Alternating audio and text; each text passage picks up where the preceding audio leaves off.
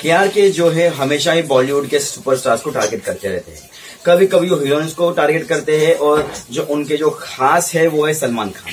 सलमान खान के ऊपर हमेशा से ही वो निशाना साधते हुए आ रहे हैं।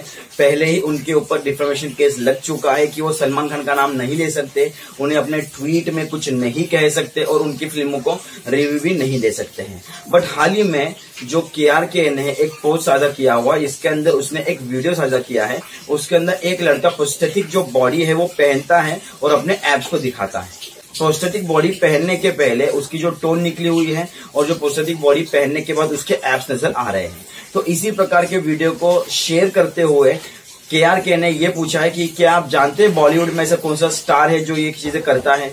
तो उनका निशाना सीधे ही तौर पे सलमान खान पे था, क्योंकि सलमान खान जो कि दबंग टूर के लिए गए थे, वहाँ पे जो रिहर्सल्स के टाइम पे उनकी टोन जो है, टमी है जो है, पूरी तरीके से विजिबल थी, लेकिन ये सारी चीज़ें पिक्चरों में नज़र नहीं आती है।